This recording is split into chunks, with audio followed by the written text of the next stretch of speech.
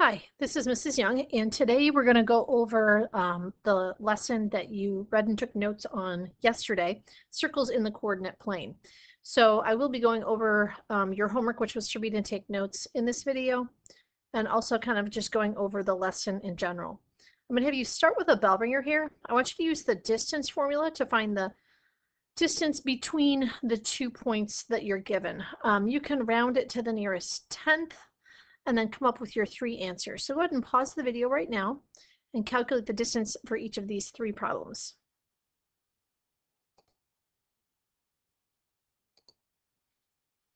I know I'd mentioned way back in the beginning of the year, distance formula is very important, so make sure that you know it. Um, look it up if you need to, but it's just a formula that comes back a time and time again. Um, again, the distance between two points, it's x2 minus x1, the quantity squared, plus y2 minus y1, the quantity squared. And you can see I actually worked out the first one for you. I plugged in the values. When you square something, even if it's negative, it should become positive. Um, the square root of 97 was about 9.8. The second one you should have 5, exactly. And then the third one you should have 7.1. Going to your notes, again, pull out your spiral and have out the notes that you took for homework yesterday. Um, this uh, whole lesson is all about the equation of a circle. The equation of a circle is based on the distance formula and the fact that all points on a circle are equidistant from the center. So this radius or radii, right, the distance from the center to the edge of a circle is the same for all points on the circle. So if we take our center point and we call it HK and plug it in as um, our second ordered pair x1, y1 in the distance formula, that's where the equation of the circle comes from. Notice that um, they move the square root over to the other side and they say r squared is equal to x minus h squared plus y minus k squared. This should be in your notes from yesterday. It is a really important formula for circles. It's the equation of a circle. Again, HK represents your center point, and then notice that the radius is squared. It's very similar to, or might look familiar to you, it's kind of like the uh, standard form of a linear equation, right? AX plus BY equals C, right? So it's kind of similar to that. Looking at your, um, check it out, number one, 1a, if we have a center point of 0, negative 3 and a radius of 8, when I plug in my values, I have x minus 0 squared plus y minus a negative 3 squared equals 8 squared. Again, the two negatives cancel out and become positive or plus a positive. 8 squared is 64. And normally we do drop off um, any zeros out of that equation. So there's your equation of that first circle. The second one, 1b, the difference here is that they gave us a point and the center point, but not the actual radius. But we know that we can use our distance formula to find the radius of um, or the distance between the two points, which would give us our radius. So when I plug these into my distance formula, I get a radius of 4. So your equation should be x minus 2 squared plus y plus 1, y minus a negative 1 is y plus 1 squared, equals your radius, which is 4 squared, 16. So there's how we come up with the equation of a circle what gets a little bit more challenging here is when we actually have to graph it. So there was an example there um, in the packet where they um, take an equation, an equation of a circle, and they want you to make a table of values. Now, hopefully you can tell right away, again, think of the standard form of the equation of a circle, x minus h squared plus y minus k squared equals r squared. Um, we can tell right away that there are no um, h and k values. So we know that our center of this circle is at the origin, right? We know the square root of 25 is 5, so we know the radius is 5. So when I'm graphing a circle, that's what I usually start with. I look at the equation, figure out what my center is. I can plot the center. Here it's the origin. And then my radius is um, the square root of that value on the other side, so it's 5. So from the center, I can count 5 squares to the right, um, 5 squares to the left, squares, 5 squares up, and 5 squares down. So there's my radius or radii. So I can get those corner points. And then I want to get some other points on my circle. Now, this isn't always going to happen where it's going to be nice whole numbers like this. But here as an example, if I plugged in, let's say that we plugged in 3 for x, if I plug in 3 here, 3 squared is 9, so I have 9 plus y squared equals 25. Subtract the 9 over, and then when I take the square root of that, I get y is plus or minus 16. Here we do want to keep the positive, sorry, plus or minus 4. We do want to keep both the positive and negative values because you actually have two points here. You have 3, 4, and then 3, negative 4. So I can go to the right 3 and up 4, or to the right 3 and down 4. Similarly, we know that there's a lot of symmetry involved in a circle, so I could also go to the left 3 and up 4, or to the left 3 and down 4. And then once you go ahead and connect your points, you have this nice circle. So sometimes making the table of values is what's going to be a little bit challenging for us. So in your check it out number two, when you're graphing the circle in 2a, again, when I look at this, the first thing I notice is that the center is at 0, 0, or the origin, right? Because there's no h or k values. And I know that the radius is the square root of 9, that's 3. So I can start by plotting the center of my circle. I can go three squares to the right, three squares to the left, three squares up, and three squares down. I'd also like you to come up with um, at least one other point on your circle. So I'm not sure, again, look at your circle. It wouldn't make sense to plug in something like four or five because that's outside of my circle. So you have to put some thought into what number you're going to plug in for x. If I plugged in, let's say that I plugged in one for x into this equation, Again, we can do the math. 1 squared plus y squared equals 9. 1 squared is 1. When I subtract it, I get y squared is equal to 8. And then so the square root of 8, I'm going to get y is equal to about 2.2. That's where that value came from in my table.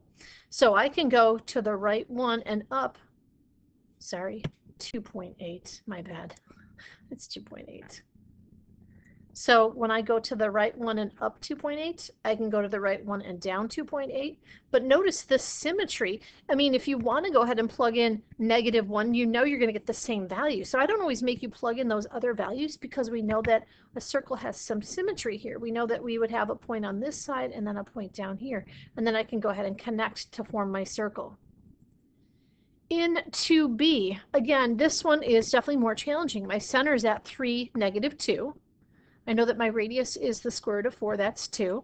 So when I start graphing this, I plot my center, and then I plot two points to the right, left, up, and down. And for me, I do want one other point that you can use symmetry to plot in four spots. So you want to come up with at least one other point on your graph. So when we do the math here, think about what you want to plug in for x. You could plug in, you wouldn't plug in 0 because that's not going to be on your circle, right? You want to plug in either 2 or 4, right? Because that'll give you some points on your graph besides the points that you've already plotted. So if I plug in 2, here's the math of this. When I plug in 2, 2 minus 3 is negative 1, but negative 1 squared is positive 1. I subtract the 1 over. And then when I take the square root of this, right here, I'm taking the square root of both sides, right? So I get y plus 2 equals plus or minus 1.73. So that's really two different equations. It's y plus 2 equals 1.73, or it's y plus 2 equals negative 1.73. So because I have the positive or negative, and then when I subtract 2 from both sides, I get two very different or unique values. So when I plug in 2, I'm either going to get negative 0.26 or negative 3.73. Again, when I graph those, go to the right 2 and down 0.26. It's like a down about a quarter of the way on that square. And then down three and three fourths of the way, right? So I go down one, two, three, and three fourths. So that's how I get this other point. Again, use the symmetry that you know about circles to come up with these other points, and then you can go ahead and connect them and get your circle.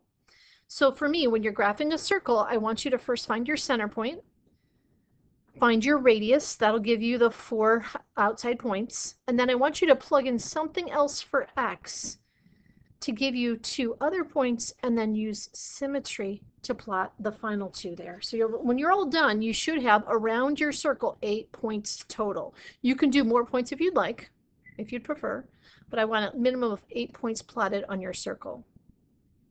So um, let's go through and um, do a, I want to do a few examples with you. Here's one, x squared plus y squared equals 16. So in this equation, I know right away that my center is the origin, 0, 0. There's no h and k. I know my radius is 4. So I'm going to start by plotting my center. My radius is 4, so I'm going to go 4 squares to the right, 4 squares to the left. Oh, I can't even count there.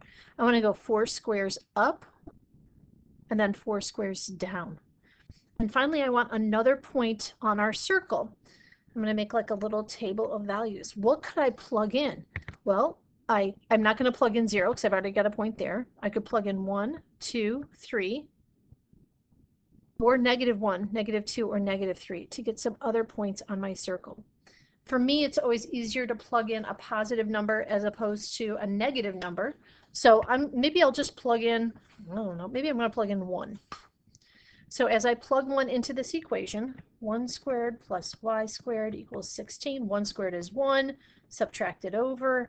Take the square root of both sides. So I get y is approximately equal to plus or minus, what's the square root of 15? Oh, I wrote it down somewhere.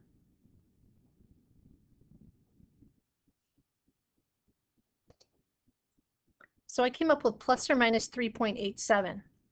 So as I graph that, right, I can go to the right one and up 3.87. I can go down 3.87. Again, because of symmetry, I can even plot points on the other side. Maybe you'd want to plot some other points. Maybe um, you didn't choose one. Maybe someone else chose two. If you plugged 2 into the equation, 2 squared plus y squared equals 16. 2 squared is 4. Subtract it over and we get 12 take the square root of both sides, and then y is about plus or minus 3.5. So again, slightly different value. When I go to graph this, again, go to the right two and up three and a half, down three and a half. And again, because of symmetry, there's points on the other side exactly in the same spot.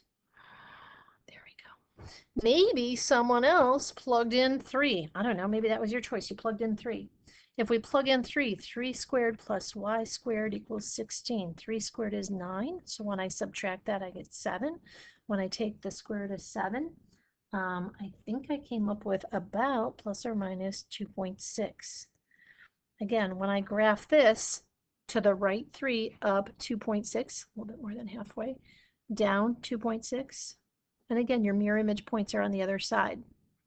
The more points you plot, the more you can see that circle shape, right? So we can see the shape of our circle. So then we go ahead and connect and we have that circle.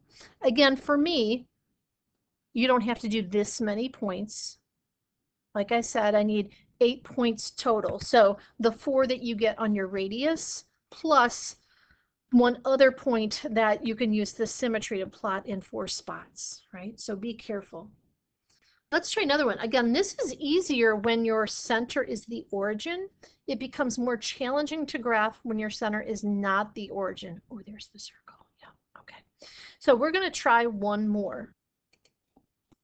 So again, start by identifying what your center is. Here my center is 3, negative 4. And then what's your radius? Here it's 3. So I can go ahead and start by plotting the center of my circle at 3, negative 4 my radius, So I'm going to go to the right three, left three, up three, and down three. So that's kind of the beginning of my circle. Then I have to come up with another value, make a table of values. What could I plug in for x? Well, I either want to plug in one or two, not three, four or five. For me, it's always easier to pick a smaller number as opposed to a larger number. So let's say that I'm going to plug in, hmm, let's say one. Right, let's just plug in 1. I plug in 1 into this equation. 1 minus 3 squared plus y plus 4 squared equals 9. 1 minus 3 is negative 2. Negative 2 squared is 4. So I have 4 plus y plus 4 squared equals 9. Subtract the 4 over. y plus 4 squared equals 5. Again, trying to solve this for y, so I'm going to take the square root of both sides. So I get y plus 4 equals plus or minus. Um, again, the square root of 5 is about 2.2-ish. Now realize here that you have two separate equations. You have y plus 4 equals 2.2, and you have y plus 4 equals negative 2.2. When you go to subtract the 4 from both sides of each equation, you're going to get 2.2 minus 4 is about negative 1.8. And then on the other equation, when you take negative 2.2 minus 4, you're going to get negative 6.2. Notice that you get two very different or unique values. This is different than when it's centered at the origin, because here you're going to get um, the same value, right? Like plus or minus the same number, but when it's not centered at the origin, you have two very unique or distinct values. So we got negative 1.8 or we got negative 6.2. And as I go to plot those, I'm going to go to the right one and down 1.8. It's about right there. And then I'm going to go down 6.2. And again, because of the symmetry here of a circle, I can plot one on the other side, plot the matching mirror image point on the other side. And you can see now, when we go to connect it, there's our circle. Right here's my circle.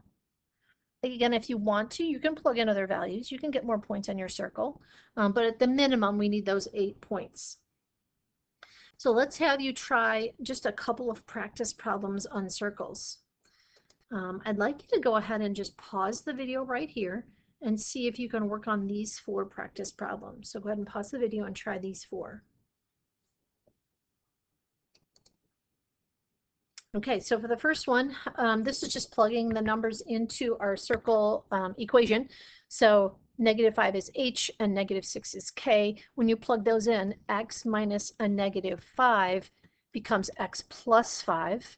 And then when you plug in the um, k value, y minus a negative 6, well, minus a negative 6 becomes plus 6 squared equals 81. Again, the radius squared is on the other side. In number two, the difference here is that when they give you the center, you have to first use your distance formula, which is what I did over here, and found my radius is 5. So using my radius of 5, and then using that point to negative 4, my center point, that's my HK, I came up with that equation. x minus 2 squared plus y plus 4 squared equals 25. Number three, you're graphing with a circle centered at the origin. So again, I can plot my center point. My radius is 2, the square root of 4. So I go 2 to the right, 2 to the left, 2 up, 2 down. And then I need another point on my circle. Really, your only options here are to plug in either 1 or negative 1. I chose 1. When I plugged that in, I got plus or minus 1.7. So I went up 1.7, down 1.7, and then plotted the mirror image points on the other side, connected, and I have my circle. Again, the more challenging one here is number four.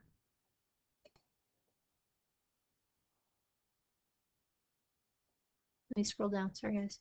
Um, so here we have a circle centered at 2, negative 4. Plot that first. Your radius is 4, so go to the right 4, left 4, up 4, down 4. And then you want to find another um, four points on your graph. You could either plug in, my thought was maybe plug in 1 or 0 or negative 1. You could even plug in 3 or 4 or 5 just to get another point here on this circle. So if you plugged in 1 as an example, you would get negative 0.13, which is really close to the axis, and then negative 7.87. Or if you plugged in zero, you'd have negative 0.54 and negative 7.46. Again, either way, you'd plot your mirror image points and connect. You might want to even pause the video here and just kind of check out my work here of how I'm solving for that other point. The math or the algebra involved here is a little bit more involved. Um, so go ahead and check this out, check your answer. So your homework for tonight is um, from your packet, page 40 through 42. You're going to be working on numbers 10 through 26. Sorry, there, 10 through 26. And then also numbers 30 through 32. Again, they're not all as involved as that last problem, but you will see problems like that on your assessment. So I want to make sure you understand how you're coming up with those additional points on your circle. So again, 10 through 26 and 30 through 32, check your stamp sheet. That's your homework. Um, I think that's it for our lesson for today. So mm, good luck.